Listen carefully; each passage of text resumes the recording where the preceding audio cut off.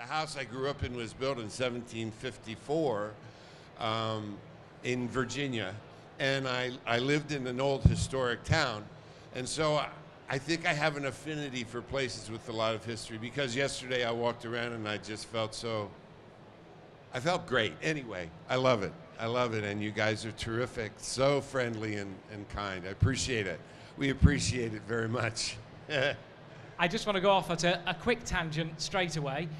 Is this a good enough distance between us? Because in Seinfeld, you were the close talker. oh, yeah. and you were very, I don't know if any of you know him from Seinfeld, the Seinfeld episode. Well, I played a guy who close ta- people. I played a guy who talked too close to people that had no he had no idea about personal space. He was challenged that way, and and so uh, yeah, what Chris is referring to is uh, uh, an episode where I play one of I, I don't know who's is Seinfeld popular here. Oh, yeah. Oh yeah. Yeah. Okay. Okay. So um, I play one of a series of uh, Elaine's dysfunctional boyfriends, and and so this guy talked too close to people. But the thing the thing that was funny was that. Um, that uh, Jerry was very uncomfortable with um, somebody invading his personal space, you know, and and so he kept he kept uh, like uh, reflexively moving away, and so they almost had to put a sandbag there, you know, and they kept saying closer, closer, closer, and so when we shot it, we were almost touching noses, and and the cast was laughing so much because they knew how painful it was for him, so yeah. Speaking of laughter on set, talk to me about Beverly Hills Cop and working with Eddie Murphy. How, how hard was it to keep a straight face during some of the scenes? Eddie was, uh, I don't know if people know that Saturday Night Live um, was going down the tubes. It really was. It, it had just run its course, and NBC told Lorne Michaels, the, the creator of the show, it's been a great run, but we're going to have to pull the plug. Lorne goes out and finds Eddie at 19 years old at Catch a Rising Star in New York, and he single handedly, I'm not, single handedly pulls the show out of the, the, the loo. uh, and um, and so yeah, a couple years later, he was he had done 48 hours, and then he left the show. He did it on his hiatus, and then when Beverly Hills Cop came along, uh, he left uh, and, and um, SNL. It does sound like a lightsaber you've got there. Is anyone, is anyone here? Okay. Um, so, uh, yeah, so uh, he was, well, he is, he's brilliantly funny to the point where you, you kind of, uh, you kind of hate him. No. uh, but the, the, the thing was is that it was originally, the movie was a, a, a vehicle for Sylvester Stallone because he Wow. had, yeah, he had just done Rocky. It wasn't a comedy. It was about a detective from Detroit who comes to Beverly Hills. He's a fish out of water. That part's still there. And he's come to avenge the death of his friend. That part's still there, but it's very serious. It's a vengeful. It would have been a very different story. Well, yeah, it's an action revenge story, and he meets a young rookie who gets thrown off a roof in the middle of top of the second act. You always have to have something in the middle of the film really, ha- you know, big happen. And so I was thrilled. I was the first one. I was hired. You were going to be thrown off the roof. Yeah, yeah. And I was so excited. You know, it was a terrible death, and I, I hadn't done anything. And, and so Stallone, who's, who's you, you shouldn't underestimate him as a writer because he wrote Rocky and he wrote Rambo, and, you know, he took it on himself to, to rewrite the script. And it wasn't bad, but he, he put so much expense into it. He had Axel driving in that, that, that, that messed up old Nova, Chevy Nova, driving down Rodeo Drive, which is the most one of the most expensive streets in the world, smashing into Bentleys and, and Rolls Royces, and, and he added millions of dollars to the budget. And so, even though he was their he, brand new minted star after Rocky, they, they didn't know what to do because they didn't want to spend that much money on the movie. I guess they didn't believe in it that much. I don't know. So they found this this uh, uh, project called Cobra, and they brought Cobra to him, hoping that he would, you know, they said, "Ah, we know you like this Beverly Hills Cop, but we think you like Cobra better." And he said, "Yeah, I do." And they're like, "Oh, oh my God, thank you. Now what are we gonna do?" And I'm still cast saying, are they going to make the movie? And so uh, they ended up with Eddie, but it wasn't a comedy. So we had to write ourselves through it. And for Eddie, it was a breeze, but John and I, you know, we spent many an anxious moment on that. And um, all the scenes in the, the movie, if you're familiar with the original movie, where we're staking him out and we're talking and we're kind of the henpeck couple where I'm, I, I, I'm, I'm uh, worried about how much coffee he drinks and all this stuff. That, that came out of, uh, came out of us. But um, the, the one thing to answer your question is he's so funny and so much happens spur of the moment that if you see the movie again, whenever I put my hands in my pockets, it's to squeeze myself so hard to create so much pain like a masochist so I won't laugh. Because the most important thing is not to laugh because he comes up with most of this stuff, you know, right on the fly. And so, and John, who's also here, he goes like this. but I put my hands in my pockets. And that happens quite a few times in the film. So, yeah, he's very funny. Yeah. You mentioned having to write the lines between you and, and the character of Taggart, John, who's here. Yeah. Um, one of those conversations, I have to ask you, is it true that the average American has four pounds of red meat in their colon? Oh, God, I hope not. But I actually had read it in a newspaper. I don't know if it's true or not, but I said, this is perfect for this scene. And, and Marty, the director, agreed. And so, yeah, you just pick things up, you know, because uh, you're desperate, right? There's nothing on the page. You get, so you got to find something, you know. And how much of the script was improvised by either yourselves or Eddie Murphy? Well, it, we, we worked it. It was not a comedy, so every day we worked we worked ourselves through it to, to find funny stuff. We did have Sam Simon, who went on to create The Simpsons, was one of the most popular. We call them punch-up writers. They'll come in and they'll punch something up to make it funny, you know. And uh, so uh, so we had him but we couldn't rely on him, you know. So anyway, I'm proud of it. I'm proud of how it turned out. We worked really hard. Eddie didn't work as hard as we did. he was so comfortable. He was totally in his element. So, yeah. I think we may have some questions out here in the audience. We have somebody right here on the front row. He's been here a while, and he desperately wants to ask. We've got somebody who's going to come over with a microphone for you. It's okay. oh, here we go. We've got a new one here for you.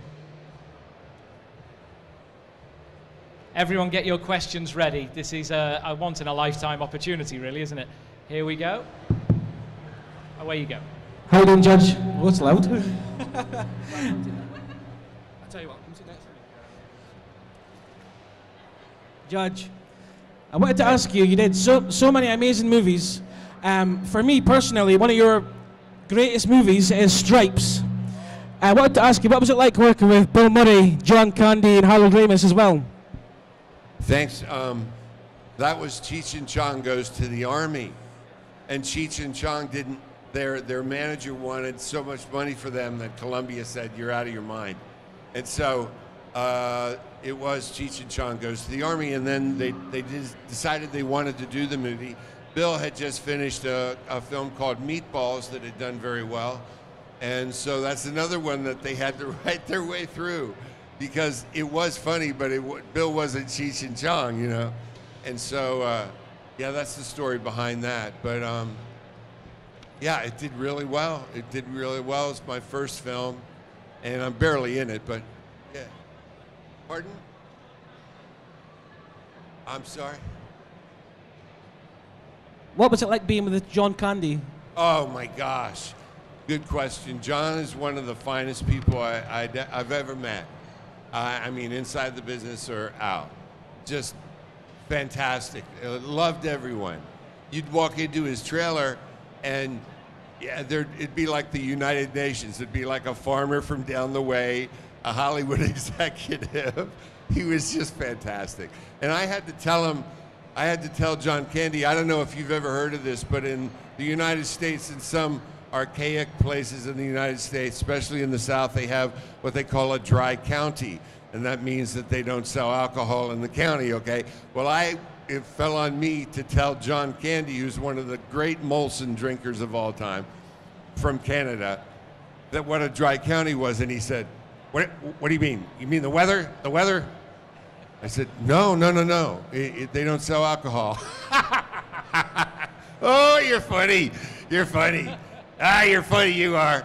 No, no, it's for real. What? And so, what are we going to do? He wasn't an alcoholic. He just loved to party. Everybody. That's what was so great about John.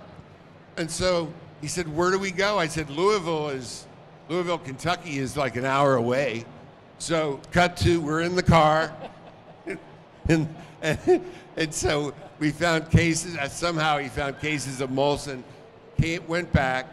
We were on our own dime if we wanted another room. They paid for one room.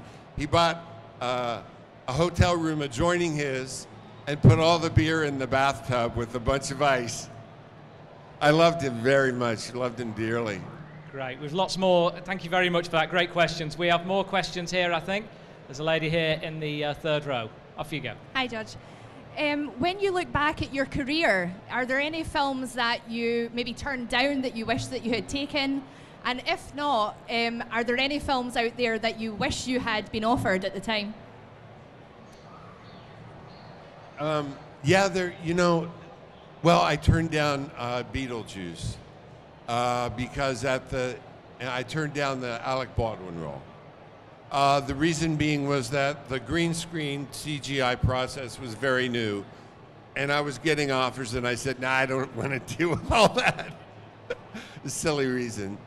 Um, and one that I wished, actually, it didn't turn out to be a big film, but it's called uh, "What About Bob," a Bill Murray movie uh, about a, a, a therapist, a psychiatrist, and his most needy patient. And I thought that well, for there was a 24-hour period before Bill wanted to do it that they were they were going to come to me, and um, I loved the role because it was so needy, desperately needy. Bill didn't play it that way, but there was something very, very funny about someone who was so clingy, and so uh, it's really, you know, if you if you don't get a movie you want, it's okay unless somebody doesn't do with the role doesn't do the role justice if somebody does the role justice, then I can let it go and say, oh, well, they did a good job. But um, Bill walked through that one.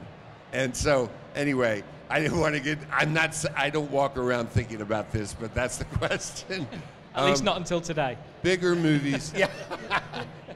yeah, there were some movies that, um, you know, it's feast or famine. And when you're really, when you're really on top, they offer you, they just keep throwing money at you because they think that's the reason. And, you know, um, oh, one of those films was, didn't do well. It was with Madonna. Um, that girl or. Who's uh, that girl? Who's that girl? Right. Um, yeah, I, I'm very flattered. They didn't realize I didn't want to do it because she had all the funny lines but they threw so much money at me, and, and my wife's like, I don't want to hear it. I don't want to ever hear that story again. so. Brilliant. Have we got any more questions here? Anyone else? Raise your hands if you've got more questions. If not, I will, I will carry on as well. Um, just tell me about your relationship working on set with John Ashton. How funny is he? You, you both seem to have real funny bones, and did you need that for a film like uh, that? It was wild because we didn't know each other, and he walked in. I was already cast, we were looking for my partner, and he walked in, and I just thought, this is the guy. He's the veteran, you know.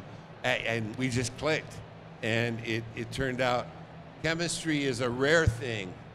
You know, uh, sometimes they'll just throw people together and not think about that, but we really did have a, a great thing going, and and you don't really you don't really maintain a lot of friendships because you're in this intense relationship for a brief period of time, and then they cut you loose. But John and I have stayed friends all these years, and, and what's most fun is when we walk down the street together and people think that we've walked right out of the film. You know, it's odd for them, so it's fun. I think one of the questions that people would, would like to throw at you today, but perhaps a little bit polite, a little bit shy, is Beverly Hills Cop 4. It's oh, yeah. often rumored about. Often. Is, it, is it likely? I've just stepped away from it because it's come up so much, you know?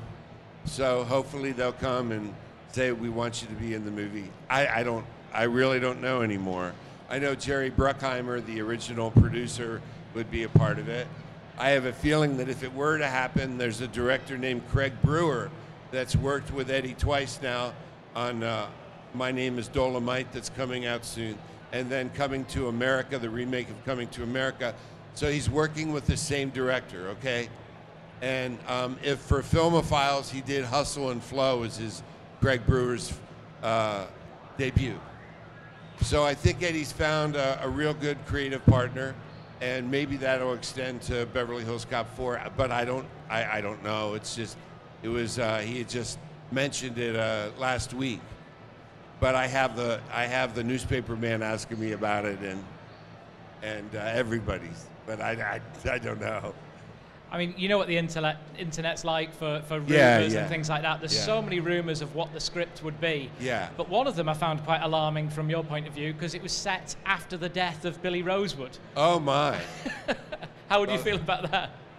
Well, obviously, I wouldn't feel very good about it unless he came back from the dead, which I, it's a kind of different movie. But um, who came up with that? It's just one of those internet Uh, rumors that's I going think around. I'm it's sure a terrible. I think it's a terrible idea. Of course, so let's scrap that idea. terrible. Uh, we, we mentioned about Eddie Murphy and his and potentially uh, coming back to do uh, stand up again. Eddie Murphy. Yeah, that's what he wants to do. Um, Eddie is. Uh, he's really a family guy. When you go up there, he's with his. He's got nine kids he adores, and he likes a lot of action at home. He just likes a lot of people coming in and out, and um, he just hasn't.